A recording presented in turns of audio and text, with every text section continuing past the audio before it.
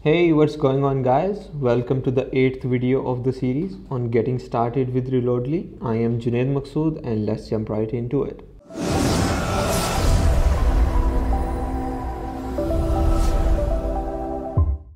So previously on the series, we talked about how to use the Reloadly platform, how to send top-ups and how we can integrate various endpoints to create a full-fledged application or even integrate it within your own system. Today, we will talk about transactions.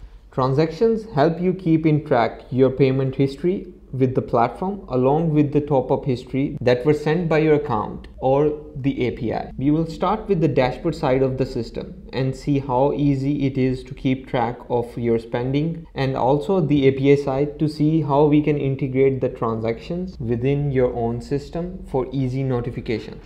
Let's quickly check out the My Reports section. So we have two things, airtime transactions and payment history. So all transactions within the platform can be divided into these two categories. Either you're making payments to the platform, these are all logged here, or you're making airtime transactions. So any top up that you sent either via the dashboard or the API will show up here. So now that the dashboard is covered, let's quickly switch to the documentation and see what the API has in store for the transactions. So we can get all the transactions that were made with this endpoint, or we can even get the details for each transaction. So what I want to do in the today's video is extend the current application that we're building. We'll create a simple new page for transactions will simply show all the transactions that were done by our account. And when the user clicks on any one of the transaction we're going to show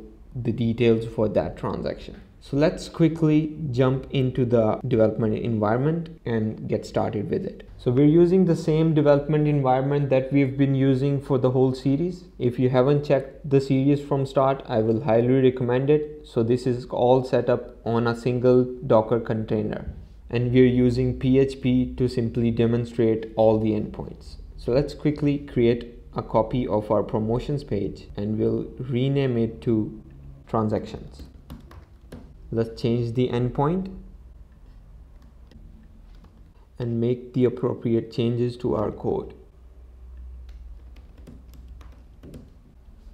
So for each transaction we're getting the transaction ID the operator transaction ID and a bunch of other information. So what I want to do is show the country code the requested amount and the transaction date all in one row. So let's just do that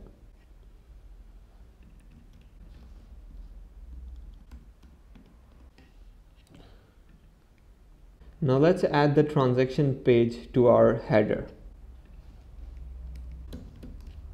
and give our app a refresh and see if everything's working fine or not.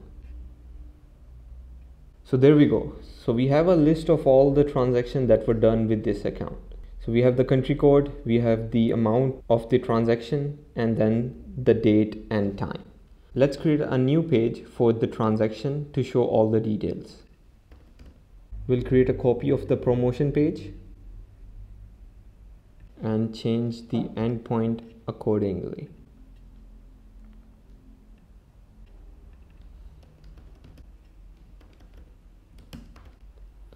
Let's show all this detail in the table here.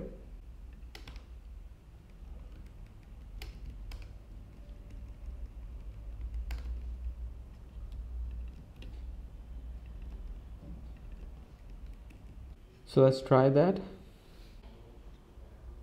so there we go so we have all the details for this transaction so this video concludes the series on getting started with Reloadly platform. I enjoyed making the series and hope you enjoyed following along and learning every single step for getting started with the Reloadly platform.